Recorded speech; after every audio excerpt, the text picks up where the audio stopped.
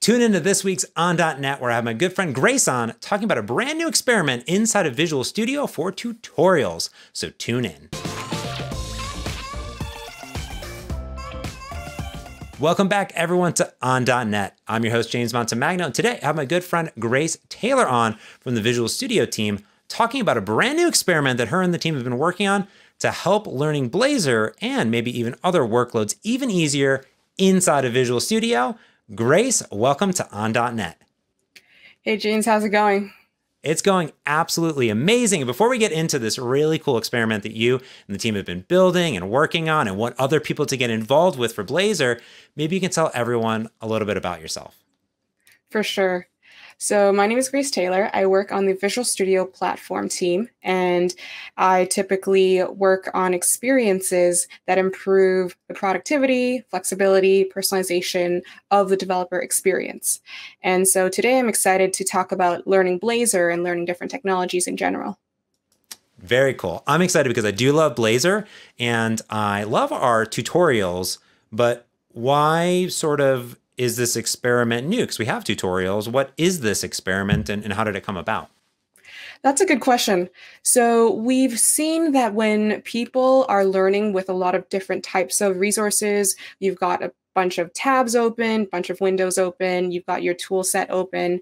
And so there's a lot of context switching. And we did see in our experiments, in our earlier experiments, that users uh, tend to do better when everything's in one place, when you're able to navigate from one location to another in a smooth way uh, without getting distracted.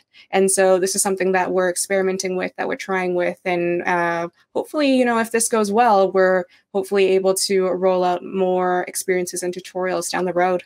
Very cool. So this is going to bring those tutorials that normally you'd have to have a browser on one side of your monitor on, the IDE on the other side, maybe something else, a video on the other side. It brings everything into the IDE properly and you can just follow along inside of Visual Studio. Is that correct?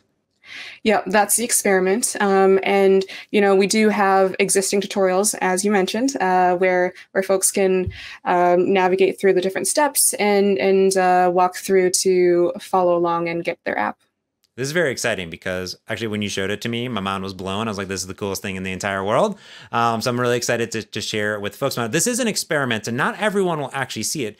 Before we get people hyped up on seeing it and hopefully giving feedback on it, can you explain as of today? And again, if anything changes, I'll update it in the comments and show notes below. But as of today, like, how do people get this thing, and what's the six the what's the percentage that they'll actually see this thing that we're about to show them? That's a really good question as well. Okay, so let me show you, James. So here we're on the .NET site, and we're in the Blazor tutorial page, and we can link that in, in the video as well. Um, on the download tab, you'll get a tab a button that tells you to install Visual Studio, um, and there's a 50% chance that you'll get an in IDE tutorial experience. Um, if you don't get that experience, there's the option to follow through and create your your uh, tutorial using this content on the site. This is the exact same content and uh, will still guide you to creating this counter app. Okay, so you can learn Blazor no matter what, but on the download and install, 50 50 chance right now that basically you will see this brand new experience. Exactly. Okay, yeah. cool. So let's say I'm I install really it. About it. Yeah. So let's say I install it. I install it and I follow these steps, right? I still need to install the ASP.NET workload.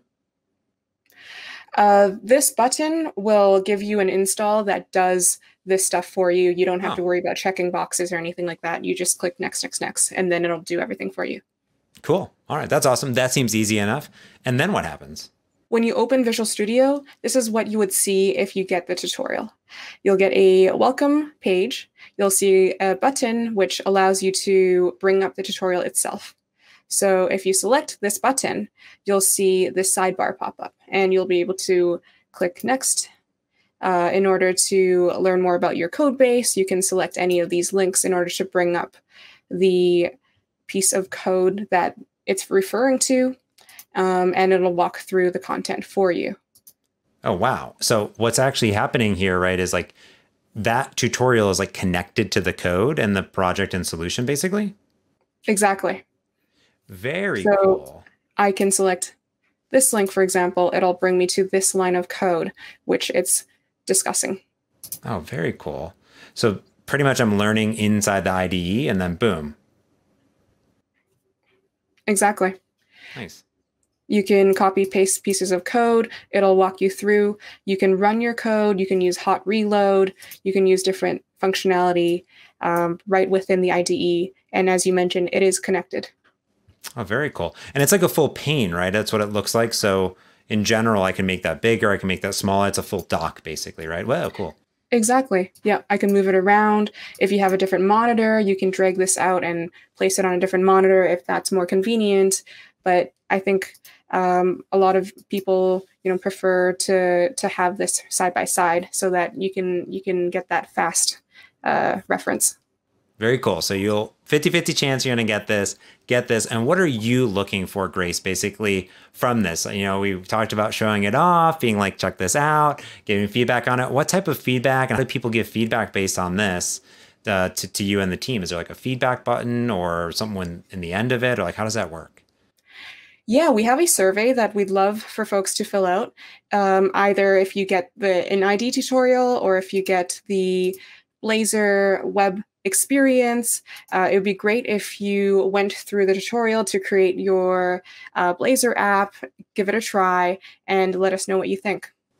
Very cool. I love this. I think that it's really neat to see, you know, more things move into an IDE. So it's an integrated development environment, which means you can see more and more. So, so this is the first step, and this is the first tu- tutorial that's inside of it, right?